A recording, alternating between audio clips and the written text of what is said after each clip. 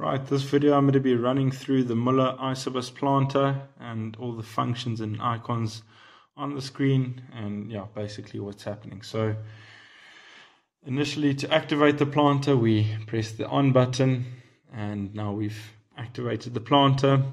We then drop the planter into the ground and activate the working position switch or the implement switch, which can be seen this white little planter icon or seeder and if we're not picking up that icon then we're not going to have things functioning properly. So we need to make sure he's there. Um, secondly we look at our seeds per hectare which is our actual target rate or the actual um, running of the seeds getting picked up through the monitors. And underneath there you've got your product 2 which is your fertilizer the kgs per hectare which is also an actual reading of what's being put down, um, all regulated according to the ground speed.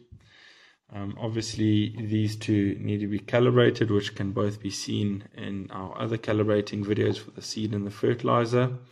But to set the target rates, we can quickly show you. You can go to your settings. Your seed is always going to be your product one. To set your target rate, we can quickly change that to 50,000 plants and press that bag with a microchip. And then for your fertilizer, we can change our rate to 200, for instance. Um, yeah, and so you'll basically be seeing an actual reading of how much is being picked up there. And then underneath there, you've got your hoppers one to six with with um, your seed sensors and base or singulation bars if I can call it that, showing you how accurately each hopper is planting.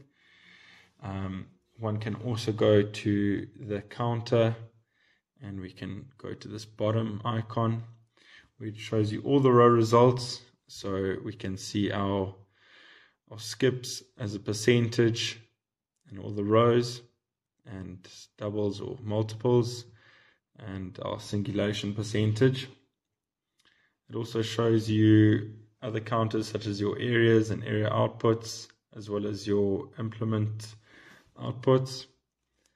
Um, know other functions you've got your target rate adjustment. So if you're looking to quickly adjust your target rate on the fly you can pick it up by increments of 10% as you can see that then changes to 60 and your fertilizer. So if we go back, then you'll see those adjustments in the bar as opposed to how you'd set your target rates um, and can be readjusted by just going back. And um, yeah, that's basically the working of the planter screen.